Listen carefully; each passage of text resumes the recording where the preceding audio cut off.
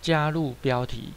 好，我们加入标题之前呢，先给我们的这个卡片啊，给它一张这个背景。好，所以我们增加一张图片进来之后，快按两下啊，它就跑到后面去当成背景。好，那接着呢，我们看到这边这个装饰的选单，点选之后，这里有一个设置标题。好，那点选之后呢，就可以在这个位置啊，输入我们所需要的一个文字的内容。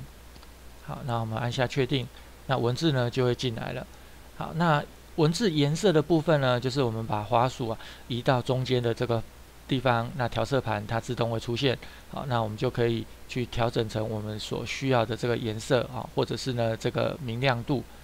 好，那这个位置的部分呢，啊，因为它现在啊还没有设定一个比较方便的一个按钮啊，让我们可以直接去点选。好，所以呢，我们就是再点一次设置标题。好，那我们会看到，因为我们刚刚已经有输入文字了啊，所以现在这边的文字就是我们这边的这个文字的内容。好，所以呢，我们就是利用空白键来做一个调整。好，我们把它往右边移一点。好，那我们按下确定。好，那我们就会看到呢，文字啊向右边跑了。所以同样的道理，如果你要让文字向左边的话，那你就是把空白键加在它后面。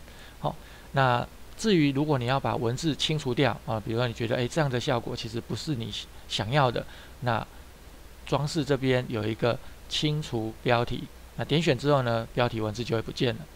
好，那标题呢，因为它叫标题嘛，所以呢它只会出现在上面。好，底部工具列啊，底部工具列的部分是不会有文字的。